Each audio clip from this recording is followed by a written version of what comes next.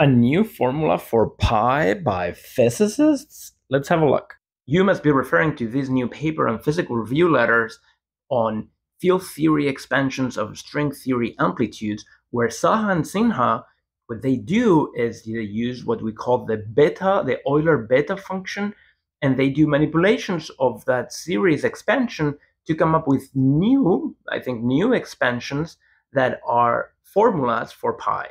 Their formulas are based on this previously known expansion of the beta function, uh, this infinite series where that coefficient over there changes for every n though. Mm-hmm. Um, and this uh, formula here is a quotient of gamma functions. But as long as the n is an integer, that quotient of gamma functions is a polynomial in the uh, in the constants inside it.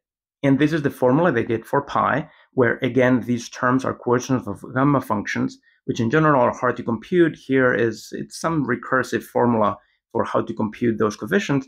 But in any case, they remark it converges quite quickly.